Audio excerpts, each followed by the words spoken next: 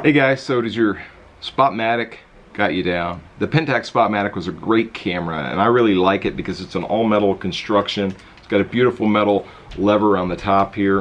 It's just a beautiful camera, but it had a flaw.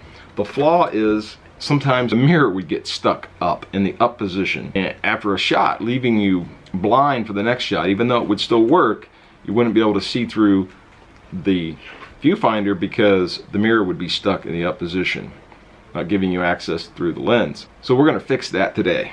We're gonna need a few tools. Screwdriver, a very small cross point screwdriver, some kind of file or sandpaper. A pair of tweezers is nice in case you lose small parts down. A small flathead screwdriver and something with a really sharp point like a sewing needle or something like that. I'm gonna use this really sharp point on this protractor to help me get off of the little C ring that holds on the arm that we're going to look at today. So let's take a look at this picture that I have here. This little arm, uh, there's an arm on here that you'll see in the picture that it doesn't get completely out of the way in every shot. And that's what causes the mirror to stay stuck even though the shutter is already fired. So what we're going to do is we're going to take this arm out, we're going to grind off a little bit of the corner of it and put it back on and that little little bit of a grind probably like a half a millimeter or less is going to give that arm a little bit more room to clear the uh, the other arm or the, the little bracket so it can get out of the way. That has worked on another Spotmatic that I've got and I imagine it'll work equally as well on this one. So it's, it's a very fairly simple and easy fix if you got a little bit of patience and allows your Spotmatic to be usable for many, many more years. First thing that we need to do to solve this is take out the bottom plate. We do that by removing three screws. There's one here, and one on this side, and there's one in the middle right by the tripod socket. And it appears that the one by the tripod socket is a smaller, different size screw, so make sure you get that one back in the right spot when you try to put this back together.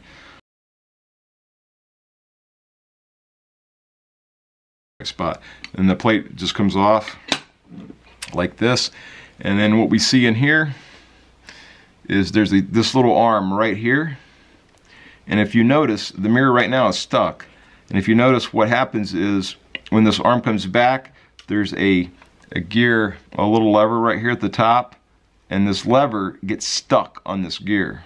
We're gonna take this lever out and we're going to grind the corner a little bit, a little bit more of a 45 degree on the corner. And I made a, a mark right here with a marker, a black marker, so I know not to go past that mark and grind too much off. But we're gonna grind just a little bit off of this in order to allow that arm to be able to come down no matter what.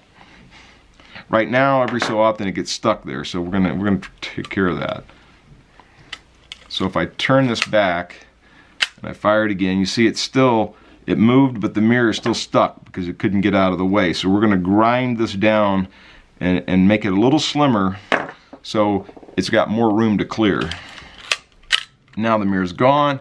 You can see the arm is here. This arm came down here and then the lever's back here and it's you know it's got some play in it now but when we wind our when we wind this you can see what happens is the arm goes up and it sits on top of this little arm here.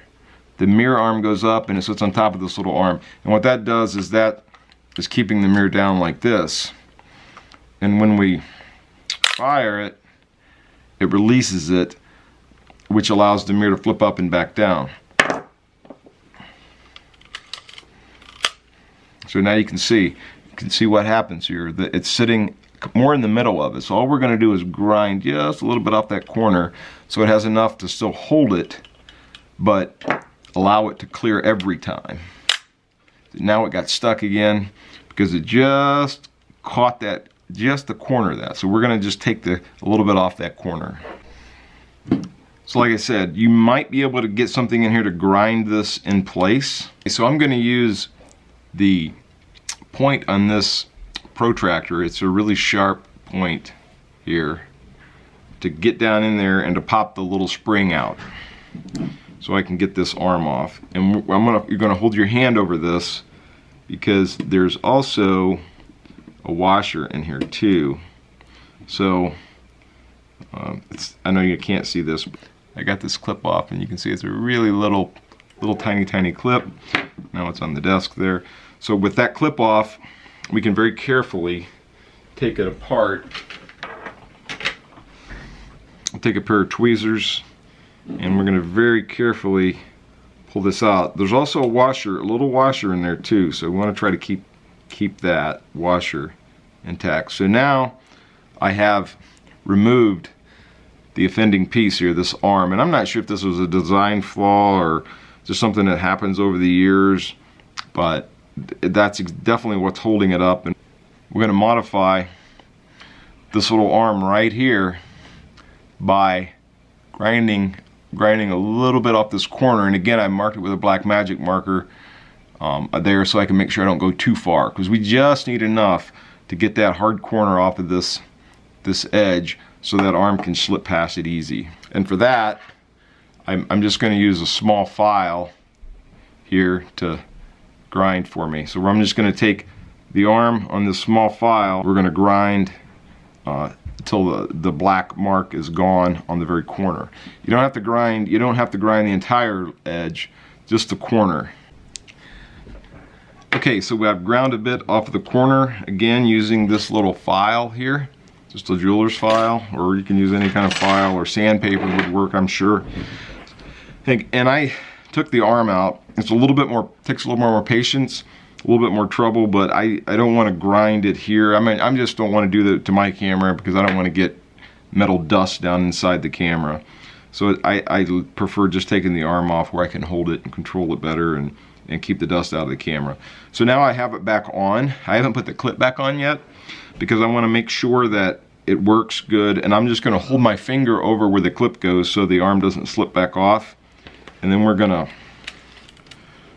we're going to give it a few fires and I can see that right away it needs a little more.